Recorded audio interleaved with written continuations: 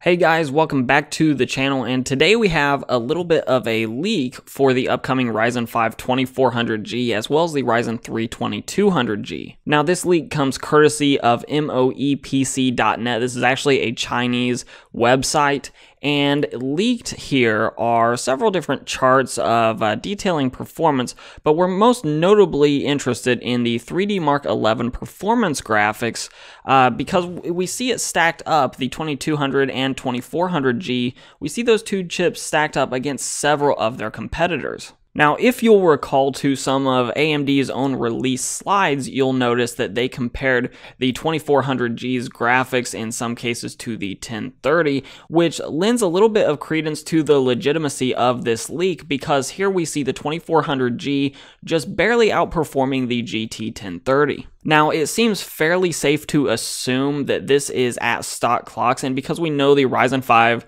2400G is unlocked and capable of being overclocked both on the CPU and GPU side, it also seems fair to imagine the uh, 2400G actually outperforming the RX 550 mobile chip that it's just slotted in behind. And if you get a really solid overclock, you may actually start to approach somewhere around the GTX 1050, probably a little bit behind it though. So even without an overclock, the 2400G looks like a great entry-level chip for people that are trying to avoid the graphics card market as it currently stands, but also with a solid overclock, getting it somewhere between the 1030 and the 1050. Uh, just doing a quick YouTube search for GT 1030 gameplay at 1080p shows us that the 2400G could actually be a very capable gaming chip, even on modern AAA titles, provided that you're willing to run your games at those mid-range settings or maybe even lower in some of the extreme cases. But in most cases, you're going to be running up to 60 FPS or very near that,